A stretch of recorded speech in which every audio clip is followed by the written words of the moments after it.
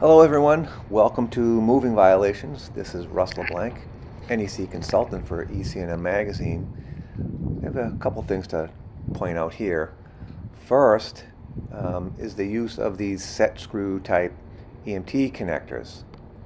Uh, this is a wet location and section 314.15 requires boxes, conduit bodies, outlet box hoods, and fittings like EMT connectors when they're installed in wet locations have to be listed for use in wet locations. These are not, so that's the first problem. You can also see the broken EMT connector at the bottom. So that's, you know, uh, possibly going to interrupt the bonding and grounding continuity. So we have a few violations of Article 250 right there. And lastly is all the cables secured to this uh, EMT raceway. Um, this is a violation of 300.11c.